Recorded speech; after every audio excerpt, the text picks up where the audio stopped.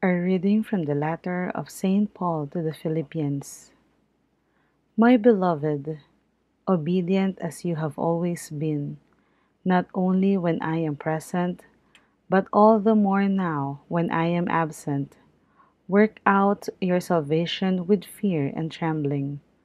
For God is the one who, for his good purpose, works in you both to desire and to work. Do everything without grumbling or questioning, that you may be blameless and innocent, children of God without blemish, in the midst of a crooked and perverse generation, among whom you shine like lights in the world, as you hold on to the word of life, so that my boast for the day of Christ may be that I did not run in vain or labor in vain. But even if I am poured out as a libation upon the sacrificial service of your faith, I rejoice and share my joy with all of you.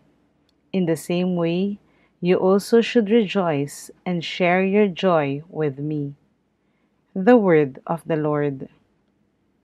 The Lord is my light and my salvation. The Lord is my light and my salvation. Whom should I fear? The Lord is my life's refuge. Of whom should I be afraid?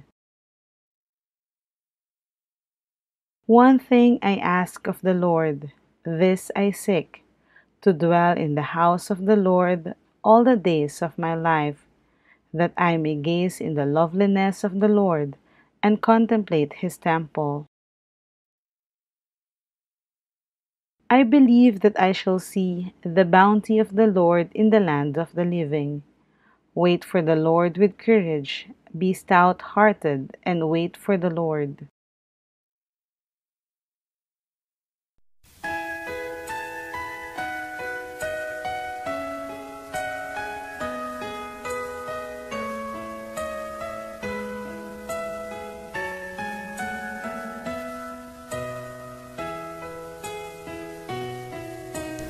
Alleluia, Alleluia.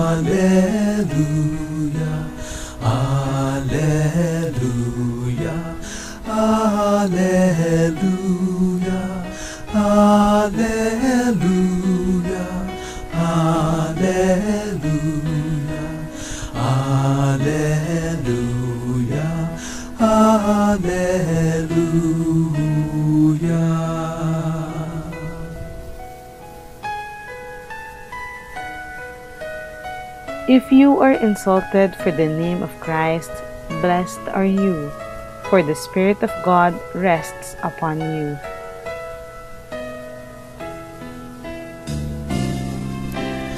Alleluia,